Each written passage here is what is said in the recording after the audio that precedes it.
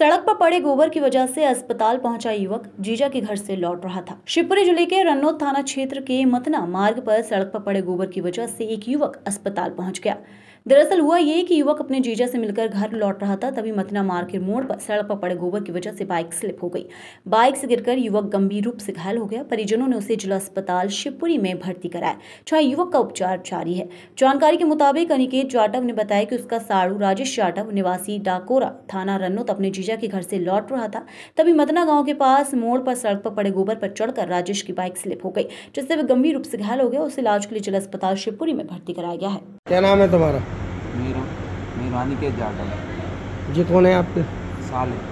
क्या नाम है इनका?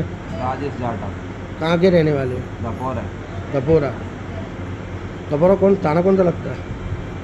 रनौत रन्नौर क्या घटना हो गई इनके साथ? गाड़ी से आ रहे थे गोबर पर चढ़ गई मोड़ है थी गाड़ी के सद गई गिर पड़े। अकेले ही थे? अकेले। थे कहाँ से कहाँ जा रहे थे? जीजा के पास गए थे घर आ रहे थे हाँ। जीजा कहाँ रहते? मैं कौन हूँ? वहाँ गाड़ी स्लिप हो गई।